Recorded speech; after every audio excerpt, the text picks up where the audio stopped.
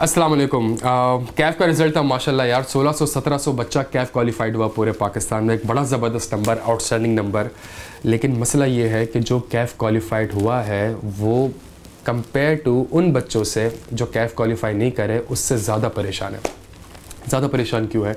परेशान इसलिए फॉर्म में कैसे होगा इंटरव्यू की तैयारी कैसे करनी है, ये जो फारिग टाइम है, इसमें क्या करना है, कितने पेपर फाइनल के उठाने, कितने पेपर फाइनल के नहीं उठाने फिनटेक कब करना है पावर बी कब करना है? यार, मेरी आपको एक सिंसियर एडवाइस है। खुदा का वास्ता इस पर अमल करिएगा, नहीं तो बहुत पछताएँगे।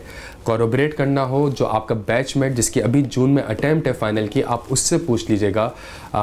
उसने वो टाइम जिस टाइम पे आप हैं, इसी टाइम पे वो आज से एक साल पहले था, उसने वो टाइम ज़ाया रहा, प्यारे बच्चों? और आज बैठ के वो पछता रहे सही है? एक सिंसियर एडवाइस है मुझे आपको बिकॉज़ आप फर्म में आने जा रहे हैं जिस फर्म में आप आ रहे हैं, मैं उस फर्म में चौदह साल से काम कर रहा हूँ, ठीक है? तो एक बड़ी सिंसियर और पर्सनल एडवाइस आपको मैं दे सकता हूँ। पहली चीज़ आपने करनी क्या है? जो चीज़ आपके कंट्रोल में है, उसके ऊपर मेहनत करें। जो चीज़ आपके कंट्रोल में नहीं है, प्यारे बच्चों, उसके ऊपर इतना ना सोचें आप, सही है? आपके कंट्रोल में क्या नहीं है कि पता नहीं फर्म में होगा कि नहीं होगा? ये आपके कंट्रोल में नहीं है। आपके कंट्रोल में क्या है कि यार आपने हर फर्म में अप्लाई करना है, आपने सीवी अच्छी बनानी है, आपने इंटरव्यू की तैयारी करनी है, आपने एचआर में जाके सीवी जमा करानी ये मेहनत आपने करनी है, ये आपके कंट्रोल में।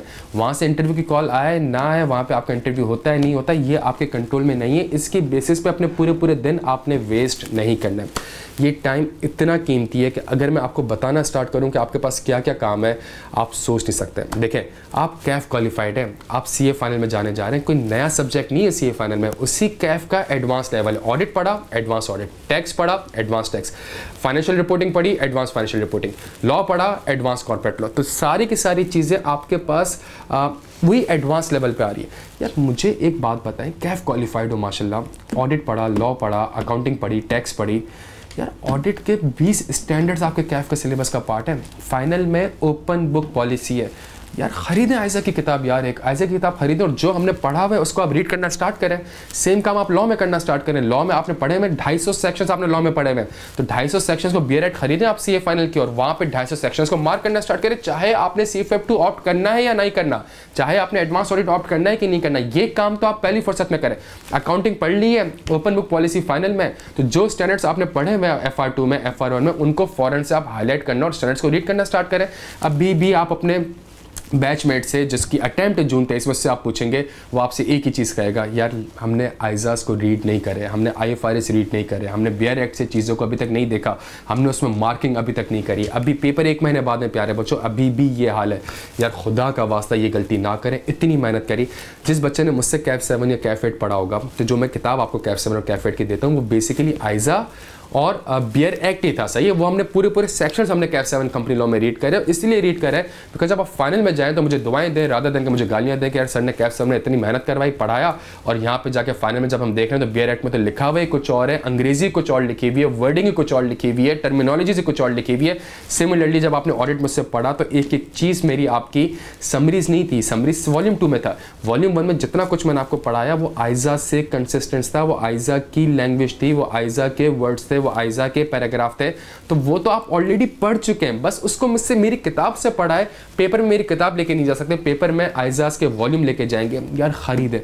अब बच्चा बोलेगा, सर, जब अटैम्प्ट होगी तो चेंज हो जाएगा। यार अटैम्प्ट होगी तो क्या सबका सब चेंज हो जाएगा? और अगर चेंज हो भी जाएगा तो आपको ज़्यादा नॉलेज होगी।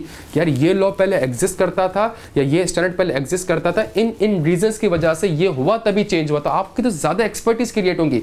ये काम तो आप लाजमी करना स्टार्ट करें, प्यारे बच्चों।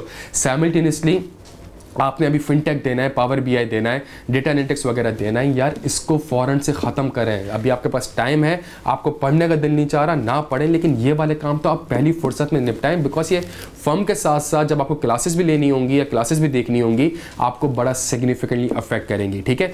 नंबर ऑफ़ सब्जेक्ट कितने ऑप्ट करने हैं क्या स्ट्रेटेजी होनी चाहिए आ, इसको फ़ौरन से डिसाइड करें। मैं सर मुजमिल मुनाफ सर मुर्तज़ा का पर्सनली लेवल पर हमारी वीडियोज़ अवेलेबल हैं। एक व्हाट्सएप ग्रुप है उसको ज्वाइन करें जिसमें हम पर्सनली बैठ के आपको बता रहे हैं कि यार ये पेपर कॉम्बिनेशन होना चाहिए। इस हिसाब से आपको चीज़ें ऑप्ट करनी चाहिए, इस हिसाब से आपको लेक्चर्स देखने चाहिए। तो काइंडली यार जो आपकी चीज़ें कंट्रोल में है, उसके ऊपर काम करना स्टार्ट करें। इन देखें यार आई स्कूल ऑफ़ फाइनेंस है ना, एक कंप्लीट सी इंस्टीट्यूट है। सी एफ़ वन से लेके एम एस ए टू तक including power B I data analytics fintech तो ये आप इन चीज़ों की टेंशन ही ना लें कि यार ये सब्जेक्ट यहाँ से या फिर ये सब्जेक्ट यहाँ से या पावर बी आई यहाँ से होगा या फिनटेक यहाँ से होगा। इंटरव्यू की गाइडेंस सेशन या फर्म के सेशन ये सारी चीज़ें इंशाल्लाह कंटिन्यूस बेसिस पे इनके सेशंस होते रहेंगे, ठीक है? तो जो मेरी एडवाइस है आपको, एक सिंसियर एडवाइस है प्यारे बच्चों, इसका लाजमी ख्याल रखेगा ये टाइम आपका सबसे प्रीशियस टाइम है, इतना फारिक टाइम आपको आगे जाके नहीं मिलेगा फर्म में। मानिएगा मेरी बात को। Thank you so much